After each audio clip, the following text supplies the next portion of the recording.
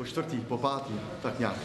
Dneska uh, si na mě vymysleli, abych vám ukázal, jak se maluje kůže, pásky na kůži.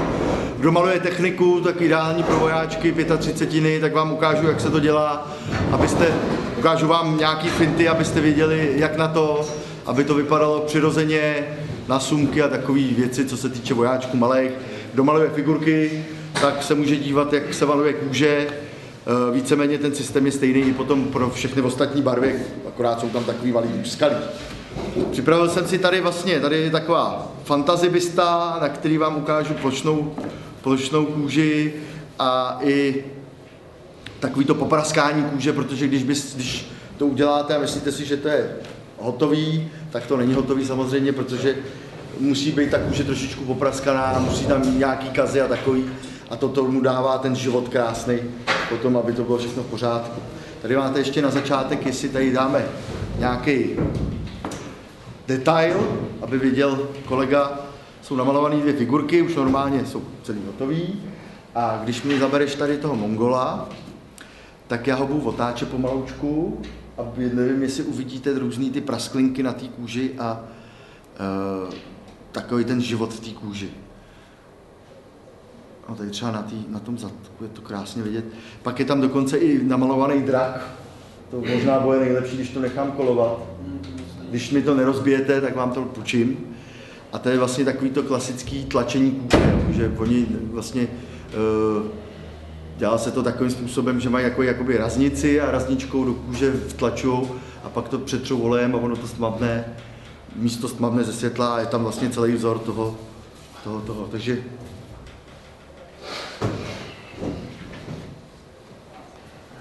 Tady potom je krásně, to dáme jako druhým kolem, tam je krásně vidět ten pásek, akorát, že to je ve velký. Jo, jasně, takhle. Třeba tam takhle z té strany, tam bude vidět. Takže takhle, nejdřív si musíme uvědomit, jakou kůži malujeme. My si malujeme světlou kůži, tmavou kůži, jestli chceme kůži starou, novou, jo, to záleží hodně. Podle toho potom volíme výběr barev. Je taková poučka, já to tady nepotřebuju, ale pro lidi, kteří s tím začínají nebo prostě se snaží to nějakým způsobem dělat, tak je dobrý si na internetu najít nějakou figurku nebo fotku nějakého vojáka, to je jedno, prostě kde ta kůže je, jako v reálu. Pak si to normálně vytisknete na tiskárně a víceméně pro ten začátek si to jakoby omalováváte na tu figurku. Jo. Že víte, kde jsou, kde by měly být na, ty, na tom pásku, třeba když budete mít pásek, tak víte, kde máte stín, kde je světlo, kde ta kůže, jak je popraskaná. A tohle je ideální vodítko, prostě uh, nevymýšlet nic z hlavě, když to mám na papíře. Jo. Je to dobrý, na ten začátek je to fakt dobrý. A potom, když už to umíte, tak už to potom není problém si to prostě vyšvihnout, jak chcete. Jo, ale tohle je taková fintička, která prostě funguje velice dobře. A vlastně vy, když si potom vytisnete tu, tu, tu věc na papír, na bílý papír a koukáte se vlastně, tak si potom už jenom vyberete barvičky, olejovky, nebo si je namícháte, jak potřebujete a přesně víte, kterou máte použít a nic neskoušíte, jo? že se v tom jakoby nestratíte. Jo, takže fakt je, to, fakt je to taková poučka, která je dobrý, do, dobrý jako s ní počítat a, a prostě vždycky, co dělám, tak se to prostě někde najdu na internetu, vytisknu si obrázek a podle toho maluju. Jo? Že třeba tady, tady mám základ je normálně humbrolka stříkaná, klasika, rozředěná, rozředěná gunze ředidlem, já používám takový ty ne úplně starý humbrolky, ale úplně ne ty nový. Je to, jsou to humbrolky, které mají na sobě napsáno takový to super enamel. Žlutě napsáno super. To jsou nejlepší humbrolky na stříkání, oni byli i tak udělaný, že byli přímo pro tenhle ten, pro tenhle ten počin, že vlastně eh, Humbrol neměl stříkací barvy, tak udělali tuhle tu sérii, která se prostě dá stříkat. A to jsou nejlepší jako barvičky, které jako já používám jako základ. Takže figurku normálně umeju nebo věc danou umeju, cifem, pak to prostě nastří, nechám to uschnout, eh, nastříkám to humbrolkou a mám to jako základní jako primer. A pak používám dál uh, někdy humbrolky, někdy akrylátové barvy. Akrylátové barvy používám víceméně jenom Andrej. Se snažím používat jenom Andrej, jo. Ty se dají krásně namíchat. Jediný, co je blbý, tady u nás se blbě schání. Kupovat venku. Jo, po internetu zapíšete, oni vám je pošlou, když si objednáte víc. To jsou fakt dobré barvy, protože ty, co se prodávají tady, to jsou vajecha, tak eh, to, to nejsou vyloženě akrylové barvy, to jsou barvy vinyl akrylátový. A to je prostě ten vinyl v tom dělá hrozný bordel, protože je takový jakoby gumový. Jo, je na to taková jedna finta, která funguje, ale je s tím, je s tím jakoby problém, ale funguje. Že koupíte od, od Támie matovadlo X21 a to do toho přidáváte, ale maňko, jo. Nesmí se tam toho dávat moc, protože ono to potom má tendenci bělat. Ale když ho tam dáte, tak máte jistotu v tom, že ta akrylka i to vajecho relativně bude tvrdá a taková jakoby hrubá, že vlastně ten štětec, když pod ní budete jezdit štětcem, tak ten štětec jakoby, jakoby lehce zadrhával, jo. Lehce. A ono to je důležitý, protože vlastně na té věci, kterou děláte, tak vznikne jakoby struktura, hrubá struktura, jo, mraky, mraky bodů. A v tom se krásně potom ta olejová barva dál spojuje. Jo? Takže to je taková věc, kterou jsem vám k tomu chtěl říct. Používám fakt vyloženě ty akryliky, používám vyloženě jenom, jenom eh, na základ, a jedna jediná výjimka tam je na bílou. Takže eh, třeba když dám něco bílého, tak eh, bílou věc udělám, že mám nastříkanou humbrolku, bílou humbrolku nebo světle šedivou humbrolku, pak to celý odstínu, odsvětlím, nechám to pořádně vyschnout, nejlepší je to pod lampou nebo v troubě, na nějakých 65 stupňů a pak, až to zaschne, třeba po týdnu, se k tomu vrátím, že bílou udělám největší světla bílou akrylkou udělám největší světla, protože bílá akrylka je opravdu bílá, když to bílá olejovka není bílá. Když dáte ty barvy vedle sebe, tak vidíte, jak ta bílá olejovka je šedivá. Ale až teprve, když je dáte vedle sebe. Jo? A takže takhle se dají udělat největší světla u bílý.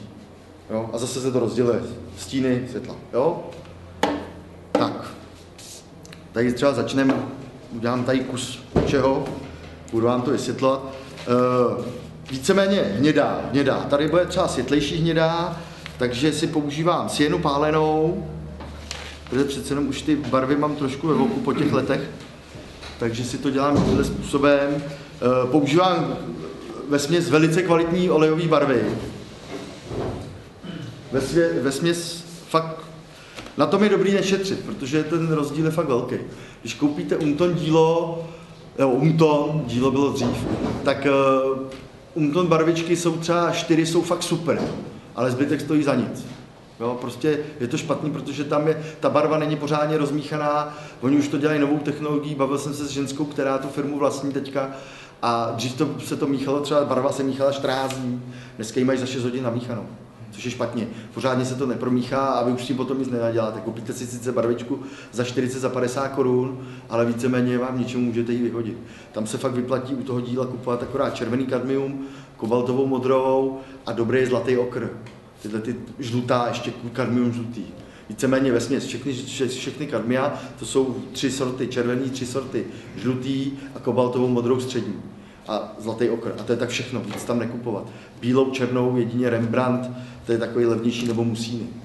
Jo? Tady vidíte různě, já mám víc druhů barev, oni jsou celkem dost drahý některý, ale fungují perfektně. Prosím tě, hele, eh, to záleží. Když máš třeba, eh, když máš Windsora, eh, Windsor je nedostižná, tahle ta barva, tady už chudinka malá, mamí už 15 let, takže podle toho i tak vypadá. Jo, takovýhle špaček. Tahle barva už se, e, přímo tahle ta Madder Elizaren se nevyrábí, ale vlastně ta samá se jmenuje jenom Brown Madder. Jo, a vyprodává se, dá se koupit přes internet občas, teďka já mám nějaký objednání, takže zase budou. A to je vlastně barva, e, jak říká Aleš Chmelař, bez této si nedojde představit namalovat kůži a dřevo. Jo? A je to, je to taková základní barva pro tyhle ty věci jako stín. A do toho ostatní potom už si tonujete ten postup. Tohle uděláte stín, a do ní už si potom vtíráte barvy, který, který vám vlastně e, vylezou to, co vy potřebujete. Jo? Když třeba potřebujete světlou kůži, tak si namícháte vedle světlé barvičky, ale tohle je furt. A ono to dává, ta, protože ona ta barvička je taková jakoby život, že jako není, není, není mrtvá, jo? Na první pohled je taková prostě příjemná dovolka, teplá barva, by se dalo říct. A když budete mít tuhle tu teplou barvičku, tak ty ostatní, i když je ta barva chladná, tak se s tím spojí a vytvoří zase teplou barvu a ten přechod je přirozený a velice pěkný. Takže ty si tady taky zase dám trošičku, fakt jenom málo, protože s ní šetřím.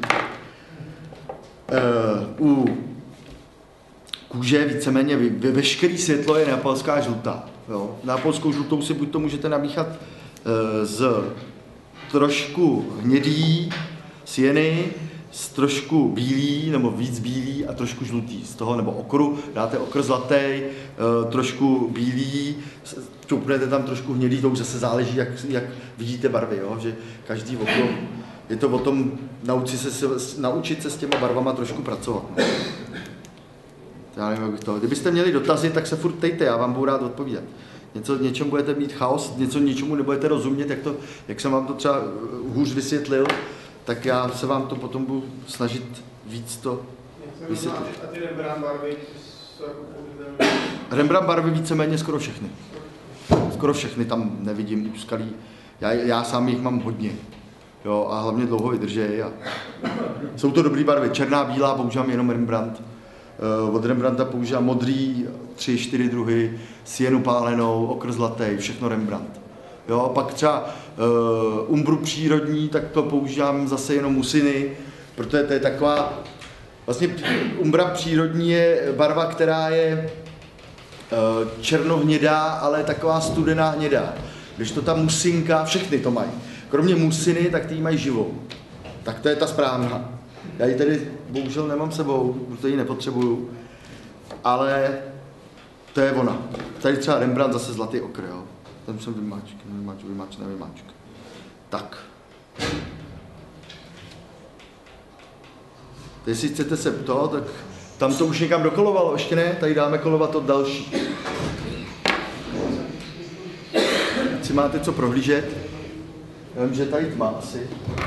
Ale třeba z toho něco vy, vy to.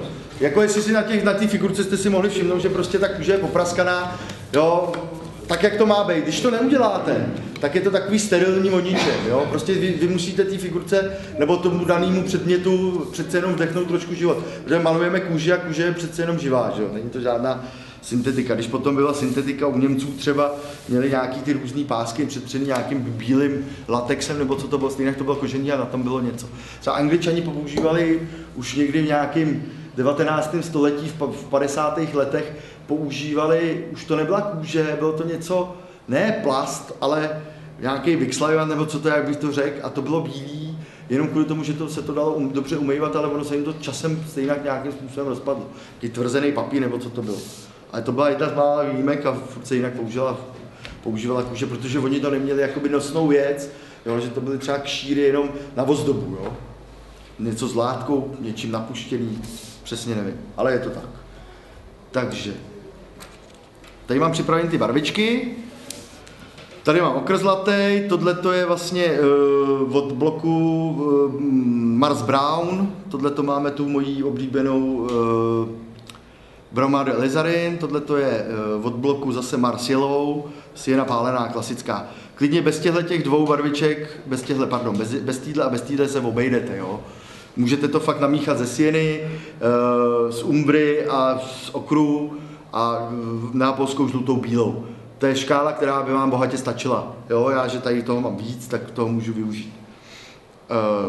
Většinou, za, eh, abyste to vy měli, vysvětluju to tak, aby byste to pochopili co nejjednodušeji. Tak si ty barvy jakoby rozsortuju.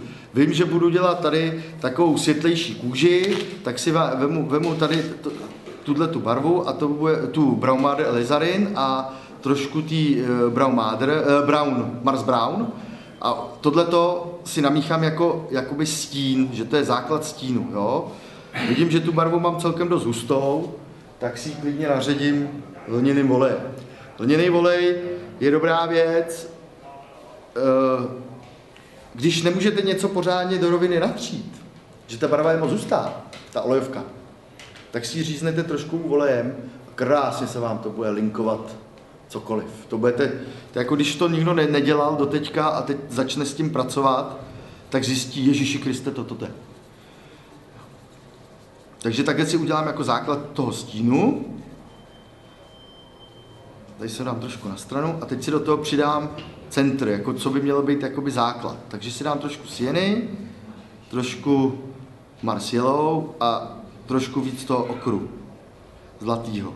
Jo? Vznikne mi úplně a tady si k tomu přidám ten základ tý, t, t, toho stínu. A mm, vo řád světlejší barvu. Je, to, je tam něco vidět vůbec? Vidíte něco? Jo? Když tak já to také namíchám A pak vám to dám kolovat, abyste to viděli i natura. Ono to asi bude nejjednodušší. A teďka si z tohohle toho všeho musím vytvořit ještě světlo. Jo? Takže si odeberu kus tohohle toho centru a zesvětlím si to tímhle tím a bílou. A ještě jsem si nevyndal, ale ono nám to stačí, tak je to v pohodě. A tohle je nejsvětlejší část té kůže. Jo? Co se týče základu, ještě furt nemáme stíny a světla. Tohle je základ, jenom základ, furt základ, jo? A já vám ukážu, jakou krásnou záležitost, protože furt si musíme uvědomovat, že malujeme figurky, já už já nevím, kolik, po, po jste na mém workshopu, a vždycky si musíme uvědomovat, že svítí světlo ze zora dolů, jo? Takže nahoře nejsvětlejší, dole nejtmavší. Jo, to je, furt je to taková prostě naše poučka, že to tak je a jinak to není. Jo, to vidím na vás. Tak. Takže takhle to mám to. Necháme to na rychlovku kolovat, abyste to viděli.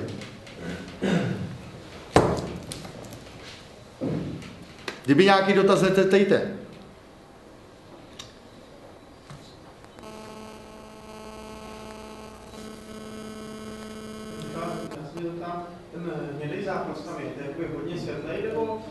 Ten nejsvětlejší základ, myslíš? Myslím, myslím úplně tu máš Jo tady, to je normálně, hele, 147 hombrovka, ze spoda třeba na tomhle tom je taky ze spoda podstřiknutá 32. Jo, tam jde o to, že... Uh. Víš co, nejdřív ji nastříkám tmavě a pak ji ze zhora jenom takhle a je to. A hlavně ono ti to na té figurce všechno vyleze. Tam je úžasný, že víš potom, kam máš dát světla, kam máš dát stíny. To je potom už, jakoby, to je pro začátek, pro ty první malíře, kteří se prostě chtějí věnovat figurkám, tak je to úžasná jakoby, jakoby uh, berlička k tomu, že víš, tam mám dát stín, tam mám dát světlo, protože už to tam mám barevně. Protože stejně tím volejem to všechno překryješ. Jo, nebo, nebo i, i, když budeš třeba takhle to mám nastříkaný a vím, že ten ksicht bude šedivý, že ho budu dělat šedivý, jo, tak tohle, takhle je to ideálně připravený. Protože víš, kde máš světlo, víš, kde máš stín. A prostě držíš se toho, jo. Nic nevymýšlíš, jo. Potom se ti nestane to, že uděláš stíny a světla v obráceně a pak to bude být, a nevíš, nevíš si s tím rady, že jo. jo. To se může taky stát. A když pak třeba takový, nebo to máš že část je jedna barva a část druhá, tak to vždycky jako zamaskuje, když se střetneš jinou barvou. Ještě jednou, promiň. Říká, že máš třeba část je jako jedna barva, část druhá. Takže by tak každý musí zvlášť, vždycky pak celý. Prostě to se dá udělat jednoduše. Taky, buď to, buď to, to je jako pro ty začátečníky, holce maskuje, a nebo to udělat tak, že potom, když na to nanášíš tu barvu danou, tak si to vlastně hodně to, hodně to na začátku přeženeš. Takže si dáš skoro černou a skoro bílou. Jo? A ten filtr a potom vlastně tu barvu danou, kterou tam na to chceš mít, třeba máš, máš modrou uniformu a vedle toho bílej pruh, tak to bílý hod musíš vymaskovat. A když budeš mít modrou uniformu a vedle toho kus hnědý kůže, tak je jednoduchý, že vlastně e, tu část modrou e, nastříkáš si to tmavě černou nebo černou tmavě šedivou a na, navrch světlou a pak si uděláš hodně řídkou humbrolku a jenom si to natónuješ. Světle modrá, jo, a ono ti to proleze to, co máš nastříkaný. Chápeš to? Pochopil jsi to, že vlastně ty máš už nastříkáno a uděláš vlastně jenom na to voš. Takový vošíček a ono ti to ze spoda stejně vyleze. A stejně víš, kam to máš dávat, ale už to máš na to do modrý a do hnědý. Jo, jednoduchý. Dá se to použít a velice, velice se to často využívá. Třeba tady na této figurce je vidět, dám to kolovat, že spodek je tmavší a vršek je světlejší. A je to jenom o tom, že nahoře jsem použil řičí, řičí barvu a, a dole tmavší. Jo, a už to udělá ten efekt. A přitom je to, hele, je to natřený za 20 vteřin, jo, celá tato ta figurka jako tlušťím štětcem, akrát tou barvou udělaný šup, šup a je to. Je to stejnak, furt je to základ. Furt na to stejnak něco budeš dávat, jo. Tady to uvidíte krásně. A tohle to je víceméně základ pro tmavě hnědou kůži.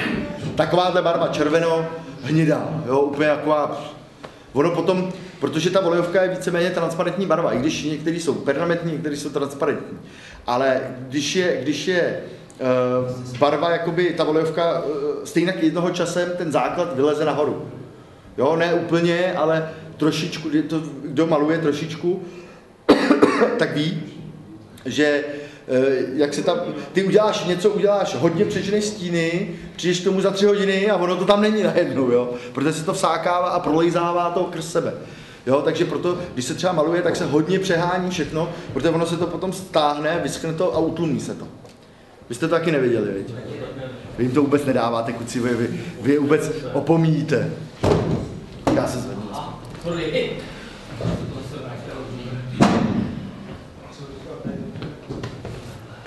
Jo, tam je, tam je, tam je, eh, když si musíte si uvědomit, že volejová, volejové barvy se používají nějakých 500-600 let a používá se to furt, není to překonaný, jo, na ty finále, protože ty volejovky jsou prostě volejovky, to je, to je barva, která není nahraditelná. V dnešní době si myslí všichni, že akrylát je, na, akrylát je lepší, není. Nenamalujete nikdy akrylátem, nenamalujete to, co namalujete voleje. Nikdy. Prostě to nejde. Jsou dva, tři lidi na světě, kteří umějí akrylátem malovat super, bombasticky, ale stejně občas dodělávají olej. A jsou to přitom zapřísahlí akryláři. Je to tak. Takže vám ukážu teďka, když je to na této ploše velký, jo? Hele, můžu klidně u toho mluvit, takže kdybyste měli dotaz, můžu u toho mluvit, jo?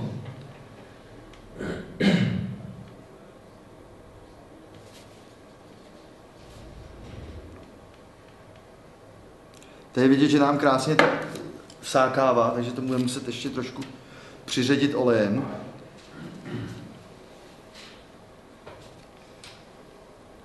Jsem dal nějaký blbý štětec. Je na to vidět? Jo. Jo, to je asi ono. Tím olem, za to vysypne? Záleží, jaký máš podklad. Když budeš mít tu humrolku, jako já, a až to do, do, do pece, tak za pět hodin je to suchý. A jinak druhý den, no. Jako hele, každá barva jinak schne, jo. Třeba červená, žlutá, bílá, to je oprus. To je dva, tři dny klidně, jako pak bez srandy. Protože vždycky všechno, co namaluju, tak já mám takový skleněný poklop jako od starých hodin, takovou kopuli a strčím to pod to, aby se na to neprášilo, aby se na to nekytal prach. Jo? Tak si pořiď dekl. To je hrozně jednoduchý.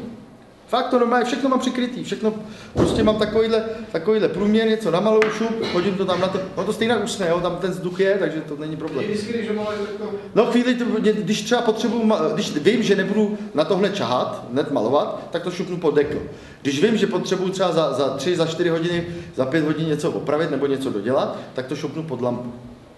Hold musím doufat, že se mi jako nenalepí prach, ale ono většinou, jak to rychle potom schne, tak už ta, se tam neto.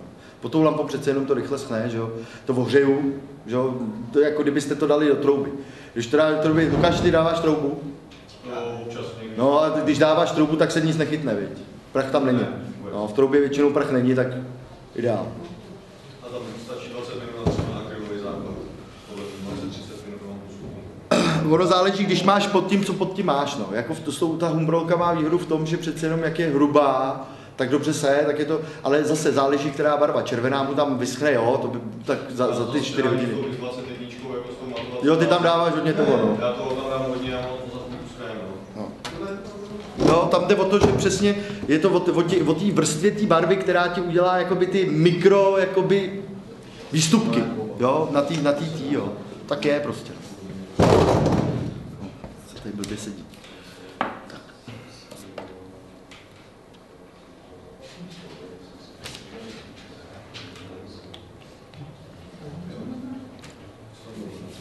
Papír jako. Tak, tady si normálně vyčistím to. Tady mám Quick Dry Petroleum, já nevím, jestli to znáte.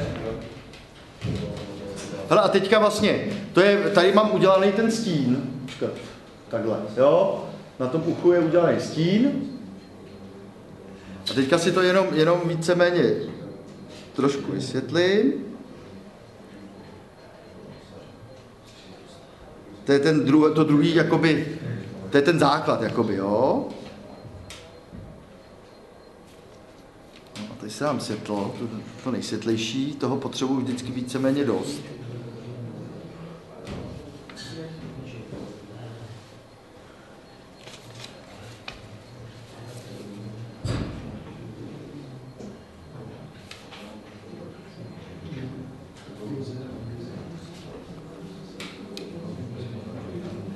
Ještě tam.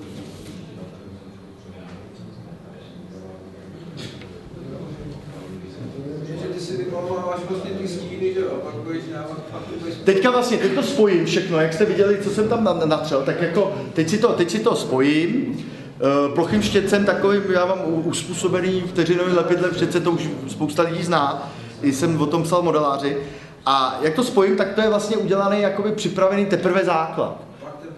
A pak teprve ještě si doděláš stíny světla a pak teprve ty praskliny. A to je víceméně všechno, jo? tak už je hrozně jednoduchá, to se, tohle se dá namalovat za hodinu. Jo? To není vůbec žádný, když bych u toho nepovídal tady, Bůh ví jak to, tak je to fakt za chvilku hotový. Michal, ještě tomu stříkání. Povídej, no, já tě poslouchám, rád ti poradím. Ty říkáš hezky jenom hamburkou, ale nemáš že třeba, mě se cepil vidět a tam je, jsou matný. No ty jsou, ale hele, já jako eh, s čistým svědomím, je to furt akrylka, jo. A u, u akrylky je problém v tom, že to je přece jenom syntetická barva. A ono se dost často stává, že ti to úplně celý zavře. A pak na toho ho- šoupneš volej a máš to lesklý jak psí, víš co? A uh, už to v tom pořádně nespojíš. Protože ono jako kdyby se to zavřelo. Jako tenhle ten systém, který já vám tady ukazuju, prostě funguje na ty humbrolky a funguje i na ty nový humbrolky, jo, ale když máte někdo humbrolku super enamel, nejlepší. Taky občas musím prostě dělat, dělat eh, na novou humbrolku, protože starou už nemám. Jo. Já jsem teďka sice měl to štěstí, že kamarád jeden, já nevím, tady není zrovna, tak mi dones celý, celou krabici těch mých humbrolek a já jsem z toho byl úplně, to jsem měl jak Vánoce. Jo, protože mám zase čím malovat. Jo. Ale fungují i humbrolky starý 40-50 let, co mám doma.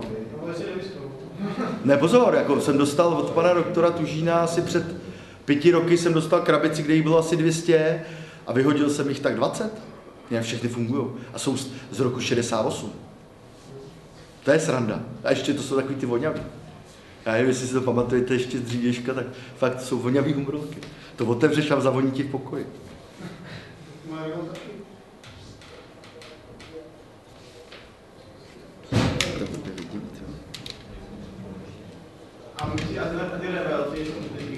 Hele, revelka, revelka, některé revelky nebyly špatný, jo. Eh, Třeba používal jsem eh, bílou, že jsem míchal novou humbrolku eh, s revelkou. A fungovalo to, hele.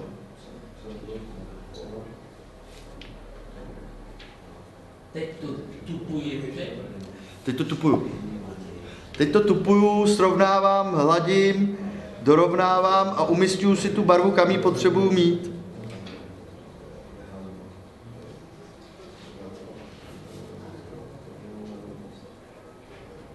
Teď si vlastně ty eh, barvy jakoby spojím, jo? To je jednoduše řešeno.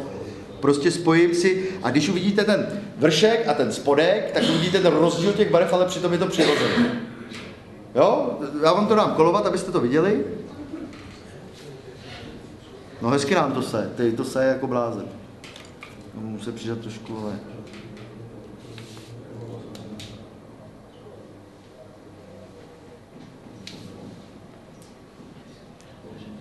Teď jsem měl normálně jenom ve štěci trošku oleje a jenom si to jakoby trošku převlhčím, jo?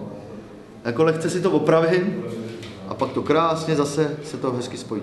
Ale ono to fakt baš, jako hodně to, hodně to saje, protože tam ty humbrolky, jak se to dělá tímhle tím systémem, že tam dáte nejdřív do, spod, do, do, do podkladu, tam dáte uh, tu tmavou a navrh dáte tu světlou, tak uh, vlastně vám to udělá to, že tam je ty barvy hodně a takže hodně saje.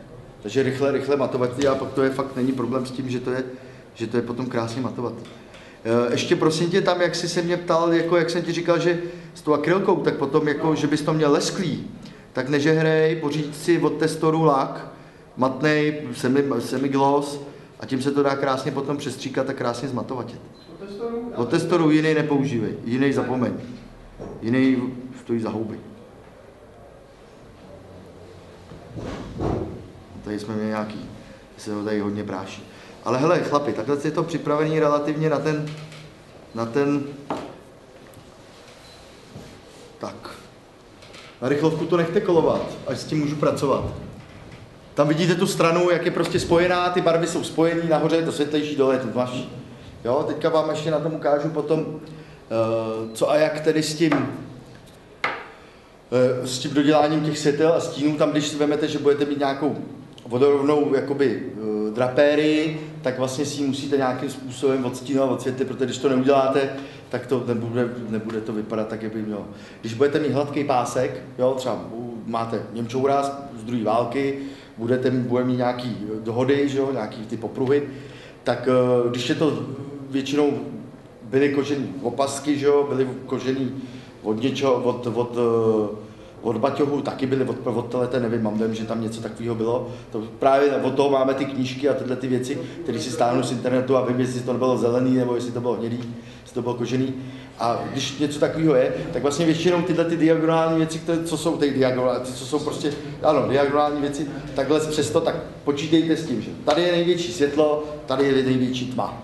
A takže dole musíte mít tu nejtmavší barvu, nahoře musíte mít tu nejsvětlejší.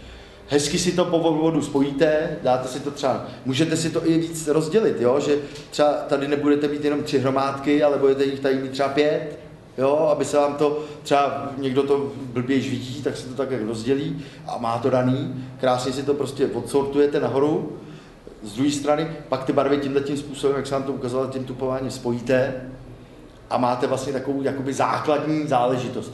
Můžete to tak nechat, někomu to tak stačí, ale mně by to nestačilo, tak si ještě prostě dodělám, na těch ty poprhy většinou byly čau, většinou rovný.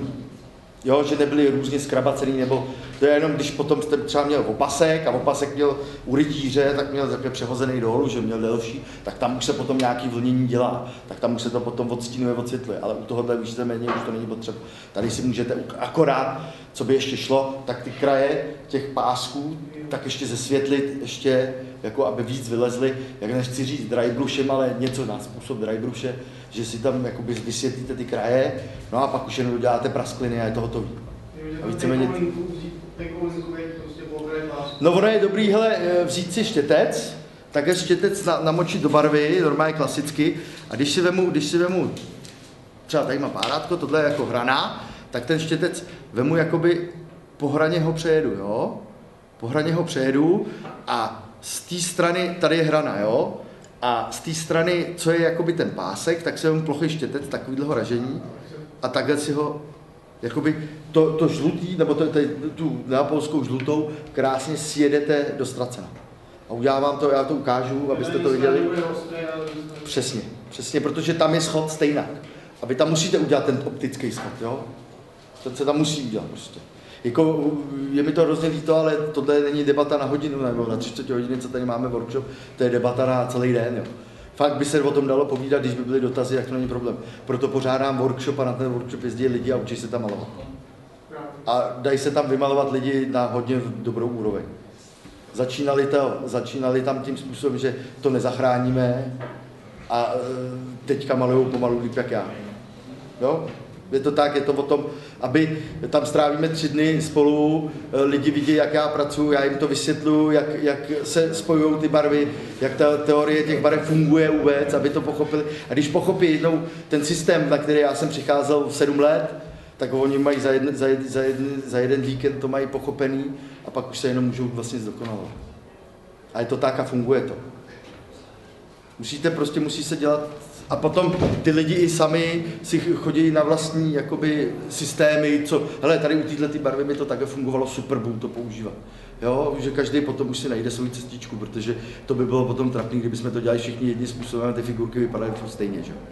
To je potom, to je potom, když vidíte, třeba my pořádáme věc jako uh, povinná figurka do Horažďovic, když Horažďovice jsou jednou v Horažďovicích, jednou jsou v Nivnici, jednou jsou ve Vejdělkově, teďka budou v Dačicích, ale furt jsou to Horažďovice, tak máme vždycky stanovenou jednu povinnou figurku, bystu 54, 75, i 90 jsme dělali.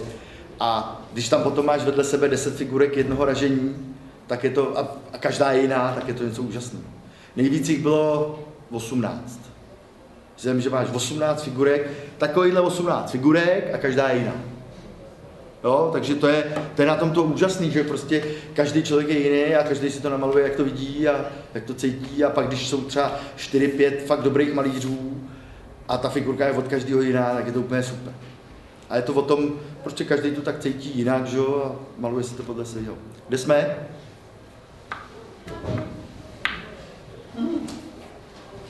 Brzdíme, ať to stihneme, ono už je celkem Ty vole. To nedám za, za pět minut. Vydržej.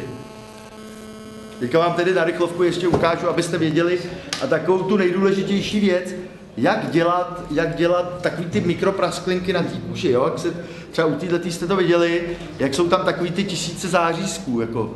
Hele, není to žádný, že bych dělal jednu čárku po druhý, nejsem magor, jo? Eh, Dá se to prostě, já vám to ukážu, já vám to, tu fintu ukážu zase hold. Uh, jsem si na to musel přijít sám, nikdo mi to neřekl, ale je to o tom. A baví mě to prostě dělat takovýhle prasklinky na té kůži, ale pozor, dá se to používat i na látku, jo. Když uh, máte středověké věci, středověké, tak přece jenom to tkaní té látky nikdy nebylo dokonalý. Nikdy. Prostě vždycky jste tam měl nějaký faldík jako tlustší, tlustší, když tkali nebo dělali vlastně si tu nit na, tý, na, tý, na, tý, na tom vřetenu, tak uh, některá byla tenčí, některá byla tlustší. Když to tkali, tak potom ona vylezla, ta tlustší, že jo. Takže a vy musíte na té středověké vlastně látce naznačit, jo. Udělat prostě tam nějaký, není to hedvábí, jo. Třeba tyhle ten, ten musí být totálně hladký, čistý, protože ten měl hedvábnou košili, že jo. To jim prostě to měli z toho důvodu, uh, že když je někdo trefil šípem, tak eh, to hedvábí bylo tak úžasně tenký, že víceméně vytáhli, s tím šípem vytáhli to hedvábí. Že to hedvábí pomáhalo vytáhnout ten šíp ven. Když to, když měl něco to, tak eh, většinou se stalo, že tu látku jakoby eh, odtrh, když měl normálně lněnou vátku nebo to odtrh, šoupl se to do té rány, tak se to většinou něco, nějaký kus vlákna se z toho utrh a zanítila se ta rána a většinou všichni umřeli potom na otravu krve. Proto, se, proto Čingis Khan vyhlásil, že všichni jeho bojovníci museli mít hedvábnou košili. Pak na to mohli mít cokoliv, ale jako ve spod museli mít hedvábnou košili. A všichni ji používali, pozor. Tak, teďka vám ještě ukážu, zesvětlíme to tady, kde je to potřeba. Tak to si vemu bílou trošku, trošku neapojský žlutý, na fofr, trošku týhletý a týhletý, to je okrzlatý a Marsová žlutá. Tohle máme ještě moc, tak musíme přidat bílou. No a to by bylo akorát ideál. Potom, až skončím, tak se potom ty barvičky, co jsem tady namíchal, tak se můžete prohlídnout, jo. A jenom tak na rychlovku, aby jsme neřekli, tak to tady trošku zesvětlíme, no, ty jsem vyklepl pastou.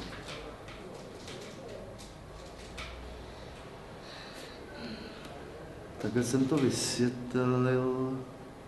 Zkusíme to, jestli to půjde.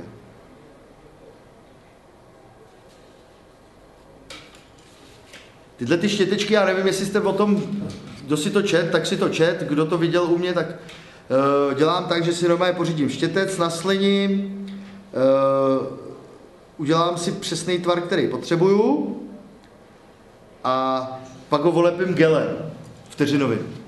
A tím pádem zkrátím ty tlusté chlupy. Jo? Ty tlusté chlupy se zkrátí a dá se s tím krásně pracovat. A furt vám to relativně drží na té jedné straně jako špičku. Zlatý loď mají, Zlatá loď. Zlatá loď mají ty nejdražší, to jsou Da Vinci. No to jste říkal dole, no. A koupil jsem jednu a já jsem neviděl žádný obrovský rozdíl mezi ty, který mám doma? No. A jsou dobrý nebo ne? Já Da Vinci vůbec nepoužívám, to je štětec pro mě úplně ztracený. Já používám štětce vlastně, na to tupování používám tyhle ty, mám to tady někde napsané, co to je, kolibry, kolibry, to je ale vždycky přírodní chlup, syntetický chlup používám akorát jenom na srovnávání povrchu. Když máte něco větší, nějakou větší plochu a abyste si zase odstínoval to stejným způsobem, jak jsme to dělali tady, jo, tu základní barvu, tak vlastně použiju širší syntetický štětec, který už je víceméně vohlej do háčku. To se to tím krásně se to srovná. Jo, úplně bez kocourů to uděláte, když máte dobrý podklad, je to bez kocourů, tak to je jediná věc, kdy používám syntetický štětec, jinak ho nepoužívám. To je štětec pro mě ztracený. Ale to jsou většinou takový, já nevím, šestka, osmička, desítka, jo. A zase kočičí jazyčky, jo. Jinak tohle je všechno přírodní chlup a jinak já jsem nejradši těma těma štětečkama, to jsou ty uh, miniatury z Finesable, Windsor Newton.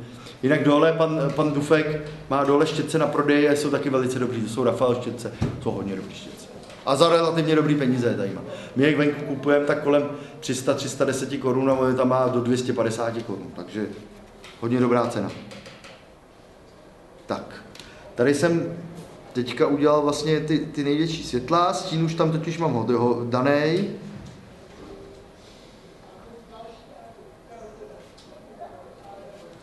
Ještě z druhé strany, to musím tady trošit.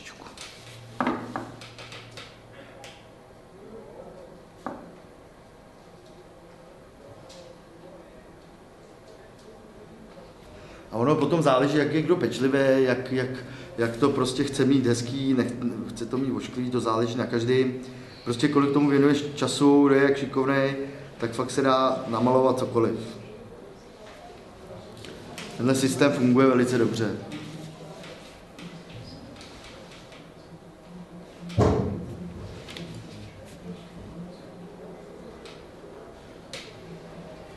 Tak. A teďka vám ukážu tu fintu, dá se to používat jak u stínů, tak u světel.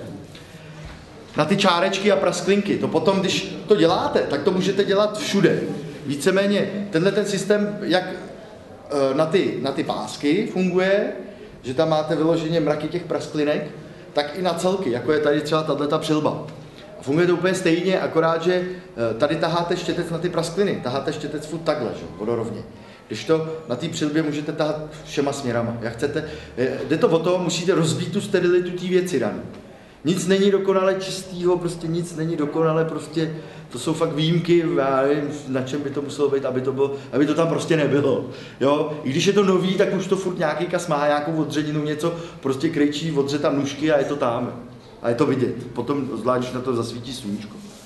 Tak, teďka vám tady ukážu tedy nejdřív trošičku stínu. A je to o tom, že si vemu takovýhle štětec, takovýhle pelicháč, hnusný, ošklivý, který sice tady někdo píše echt kolínský, stálo to asi stovku, ale ten štětec při každém malování pustí 50 chlupů, jo, proto už je takovýhle malej. Ale vy ho vlastně, vy zatlačíte tu patku toho, toho štětce, z čeho vlastně čumějí potom ty chlupy, tak zatlačíte na tu desku. A ty chlupy takhle jakoby, je to vidět? Takhle se rozjedete, jo. Čím je hustší barva, tak tím víc roz, jsou otevřený, ten- štětec je otevřený. A vy vlastně potom jenom ještě si takhle otřete, abyste tam té barvy neměli moc. A pak víceméně takhle, ty to nejde. Jenom přejíždíte a máte tam těch, ono to možná není vidět. Na tom uvidíme. A uděláte ty základní tmavý prasklinky, jo. A to fakt jich, máte to hned, jo. ne, musíte dělat jednu po druhý jako debil. Ale že to fakt je brzo. No a teďka jenom jsou tam. Dáme potom kolovat, protože nás čas tlačí. No už přešviháváme. A vemu si zase tu bílou, pokud možno, víte co, takováhle barva, jako je tady třeba tahle ta žlutá, potom až to, tak se na to pojďte všichni podívat. Tak je přímo ideální. Je čím hustší fakt ta barva je. A jak udělat hustou barvu, když je třeba už tubě řídká, jo? Vemete si takovýhle obyčejný kus papíru, na ní vymáčknete a necháte ji tam 10 minut.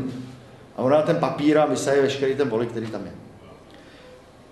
A pak budete mít hustý pigment, takže si ho dáte potom na ten ten a zase patka se to a uděláte si takovýhle krásný výžek, jako by se dalo říct.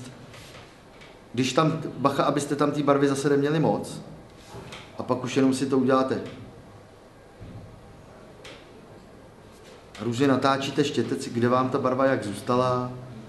Jo, A to děláš do těch světel, než si dělal předtím ty tmavý. Taky no, taky. Taky jsou to vlastně, někde jsou světlá, někde je, ta, někde je ten stín, oboje dvoje, prostě to tam, vši- všechny, protože to tam je, že jo.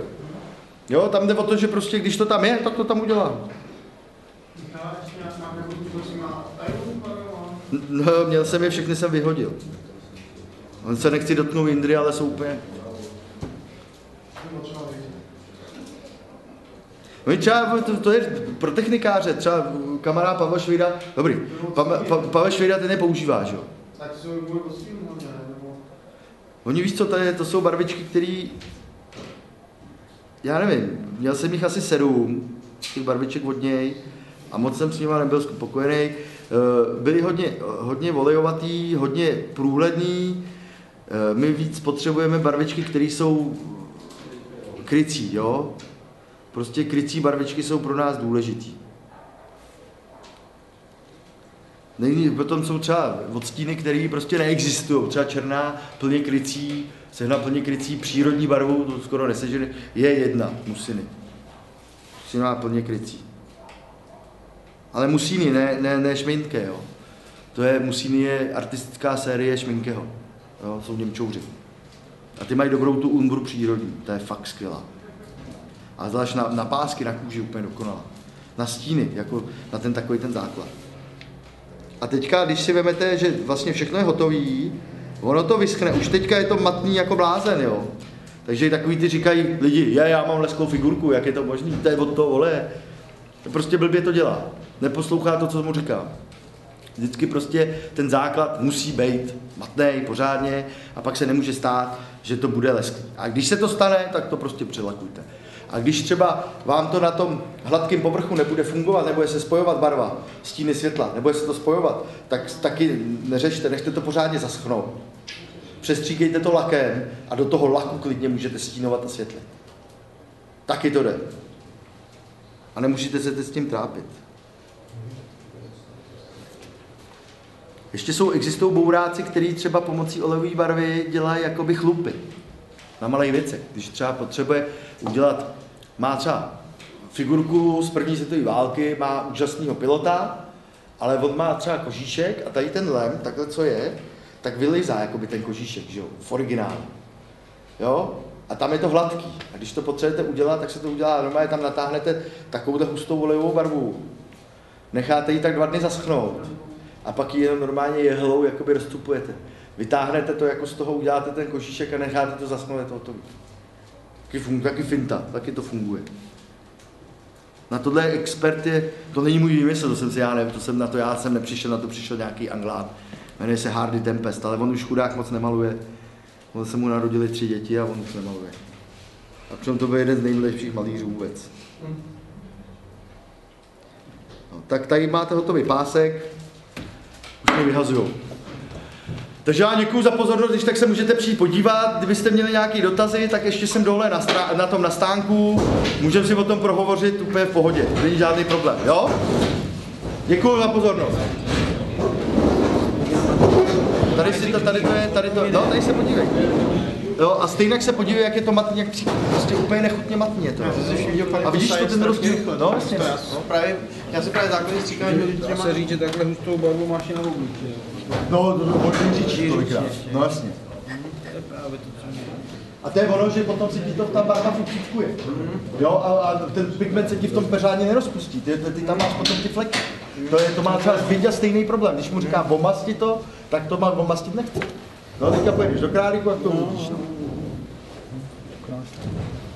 A je to o ničem, je to, víš co, to je, jako mně už to přijde, že je to absolutně normální věc, Holt, já to chápu, že prostě není nikdo, jako když to přece jenom člověk maluje 15 let, tak už to trošku v tom musí hrozně Já si myslím, že to je problém, protože jakoby, ty máš nějakou škálu barev, kterou už má nakoupenou. Třeba Hamburgy nemáš skoro žádný, protože já jsem začínal na, na revelkách, jo. A ty rebelky jsou taky v pohodě, ale Jo, a pak ty se jakoby nějaký, tam je nějaký revelky, a říkám si, hm, ten. A Víte, odstín od třech různých firm, říkám si, ty, Ale teď já si, já si míchám ty humbrolky, čau. Já si vemu, já si vemu, já si vemu, já si vemu uh, tři, čtyři barvičky máš a, a z z toho si namíchám všechno ostatní. Ježiši Kriste. A pak ty detaily taky pak vezmeš štěcet a máš Hamburgu a štěcet a jedeš. No jasně, a tam jde o to, že jak jsem ti říkal, ty voše, když si to uděláš tímhle tím způsobem, No. jak je to odstří- odstříkaný tady, tak potom fakt normálně jenom si uděláš hodně řídkou humbrolku a jako by to natónuješ.